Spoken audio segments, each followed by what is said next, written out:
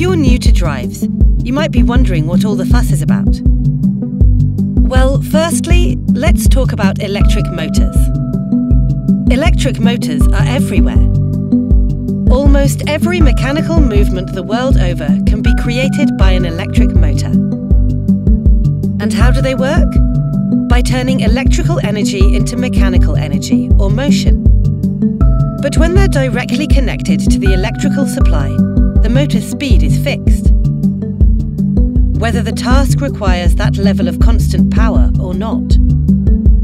This is pretty inefficient. So you're wasting energy and money.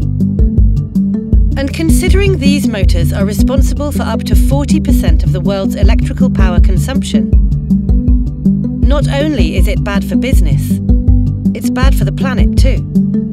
That's where drives come in. Drives make sure that motors use electricity efficiently.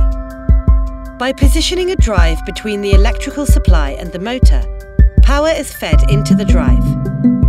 And the drive then controls and regulates the power that's fed into the motor. This allows control of speed, direction, acceleration, deceleration,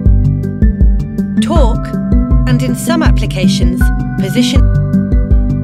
The drive does this by changing a constant frequency, constant voltage supply, into a variable frequency, variable voltage supply.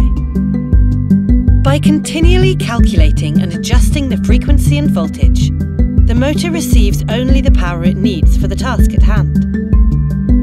This means lower energy costs and lower maintenance costs.